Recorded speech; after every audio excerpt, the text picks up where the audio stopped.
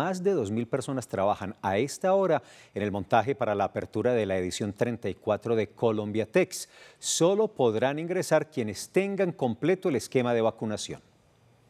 Sin descanso y a toda máquina, como se dice coloquialmente, trabajan las más de 2.000 personas que harán posible el montaje del encuentro más importante de la industria de la moda en América Latina, que se extenderá hasta el próximo jueves. Desde el Frente de Negocios, una muestra de 400 expositores se conectan con alrededor de 10.000 compradores. El 35% de estos expositores provenientes de 14 países, conservando así una feria internacional. Entre las novedades de la feria este año está el nuevo Foro Teach, en el que se abordarán los retos y oportunidades de la tecnología para la industria de la moda.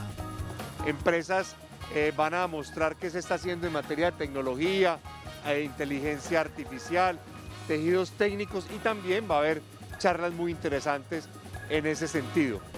El evento, que iniciará este martes, se llevará a cabo bajo estrictas medidas de bioseguridad como la exigencia del uso obligatorio del tapabocas y del esquema completo de vacunación. Además, se instalarán estaciones para la desinfección de las manos.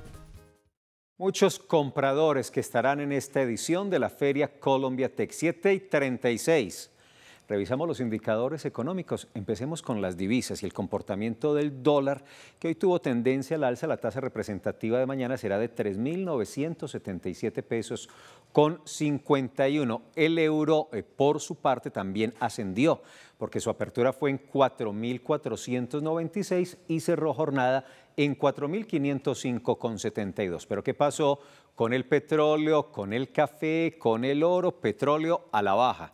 86 dólares con 16 centavos el barril de petróleo Bren. La libra de café en Nueva York, que estaba en 2,37, descendió 3 centavos de dólar y cerró la, la, libra bolsa de Nueva York, reitero, en 2,34, mientras que la onza Troy, es decir, el oro, subió a 1.843 dólares con 95.